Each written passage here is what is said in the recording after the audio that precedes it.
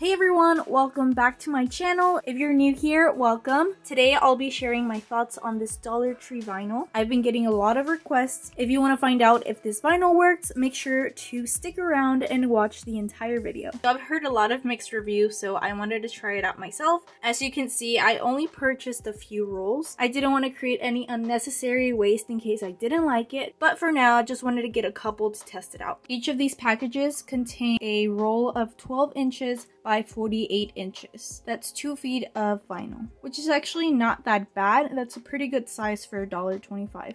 I picked up this hot pink color, this floral pattern vinyl, a purple glitter one, and then they also have these tiny ones. I think they also wanted to create a dupe for the Cricut Joy ones, so we'll see how that works. And lastly, I found the transfer tape to go along with the vinyl. I forgot to mention this earlier, but the package says that they are permanent vinyl,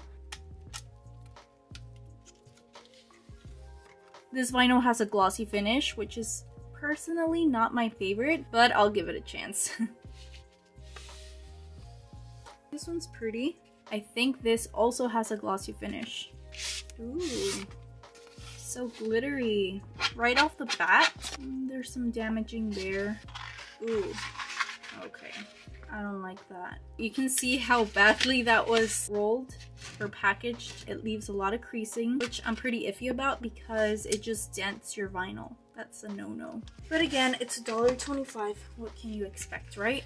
Let's check this one. See, they did the exact same thing. It's like an inch of waste that they could have avoided by just rolling it properly. I mean, it's not too noticeable on this one, but the way they rolled it, I don't know. Okay, now let's check the transfer tape. Same thing.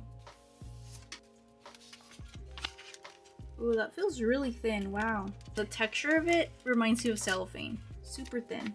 Let me show you the difference between the transfer tape that I usually use. This is the Frisco Craft brand from Amazon. And you see how it stays like that? The other one will not do that at all. not that it matters, but like it's just me showing you the texture difference, like how thin it is. Okay, so what I'm gonna do is I'm going to place all of the same vinyls that I got onto the same mat. This is the regular glossy permanent vinyl. Next, I'll be placing the glitter permanent vinyl down on the mat. And lastly, this floral printed pattern. I didn't have any issues placing them down on the mat, so that's good. There's no bubbling on neither. Today I'm using the Cricut Explore 3 machine with the fine point blade. I am using the same design for all of the three vinyls, but I will be cutting them individually to make sure I'm using the correct settings for each. Okay, now this is the moment of truth. Let's see how this vinyl works. For the glossy vinyl, I'll begin by using the Smart Permanent Vinyl setting. That's usually the setting I use for all permanent vinyls.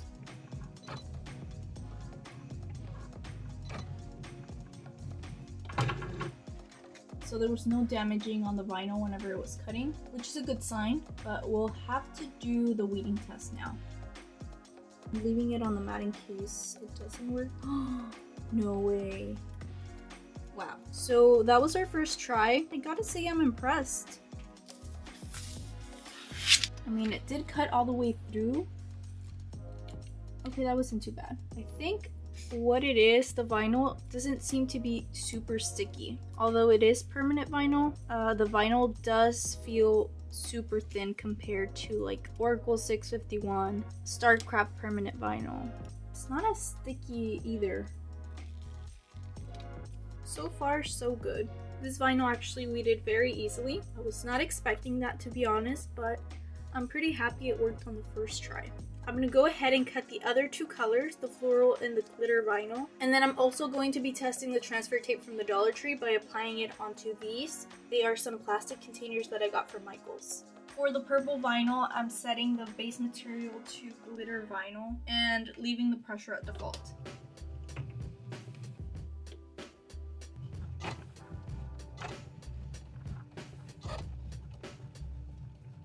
Now for the floral pattern, I'm changing the base material to printable vinyl. Again, I'm leaving the pressure on default.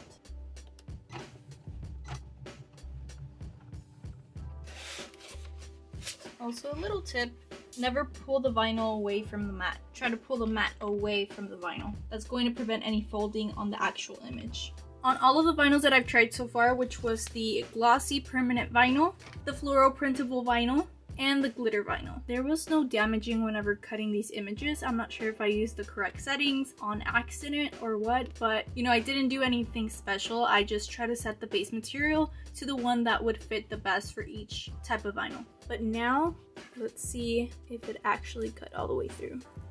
Ooh. Okay, it did cut all the way through. That came off really easily. Again, the same thing happened to the other vinyl, that the tiny little dots were not staying in place, which might mean the vinyl is not super tacky.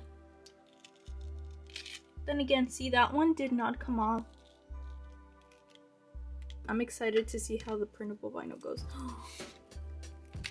wow, that came off again. Super easy. We're having trouble with that tiny piece on all of them.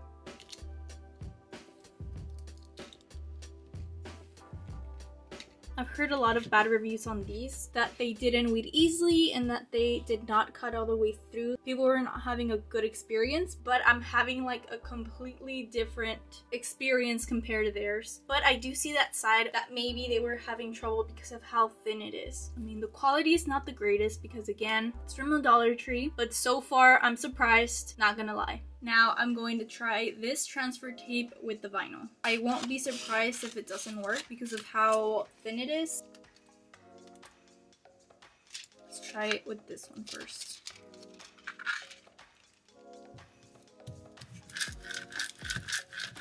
Before scraping the back, I'm going to see how that did. So part of it did transfer onto the transfer tape, now let me try and do what I usually do. I like to flip over the image and scrape the back. Okay, that's better. Okay, that did transfer. Before applying anything to any surface, make sure you clean your surface. I'm just using a little mini alcohol pad.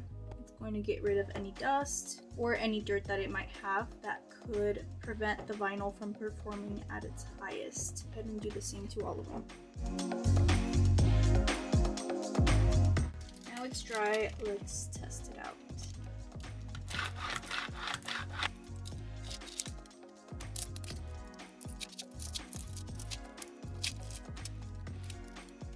I'm really impressed. There's like no bubbling at all. It's manageable, but you really have to scrape it on and make sure it's really sticking to your surface. Interesting. I'm going to reuse the same exact piece of transfer tape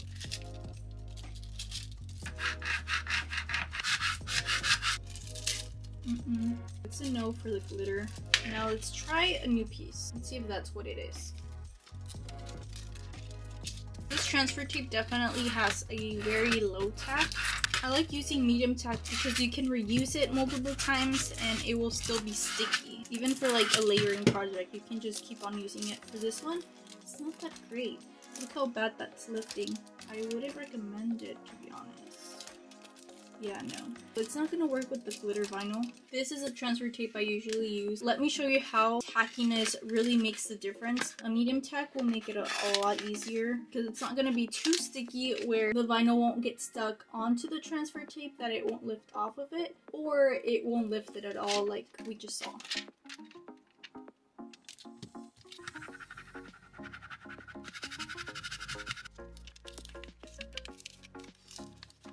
That came off like butter. That's how it's supposed to be for glitter vinyl. Since the other one didn't work, I'm just going to go ahead and apply this with the Frisco Craft.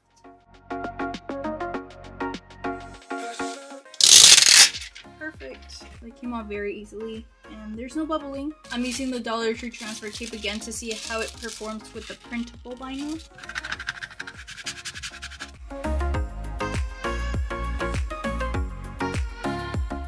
Tape, not the best, but it did work. It did do its job. No bubbling. That's a pretty big deal. Okay, now let's try the mini roll, which I'm sure it won't be a lot different from the other rolls, but I'm still gonna try it out with the Cricut Joy. Okay, I just noticed something. This one feels a lot thinner than the other rolls. I'm not sure if it's the vinyl or the paper backing on this one, but it's a lot thinner compared to the bigger rolls. Maybe they'll cut different, maybe they'll cut worse, maybe they'll cut better. I don't know. Honestly, I don't understand the point of these tiny ones because you're only getting 4.5 inches by 48 inches, which is a lot less material than the bigger rolls. So you can clearly tell the difference. For the $1.25, I would much prefer trying these out instead of the tiny one. The backing of this is paper, so there's no way you can use this as smart vinyl for the Cricut Joy. You would still have to use the regular cutting mat. For this one, I make the design a lot smaller to see if the vinyl is good enough for intricate cuts.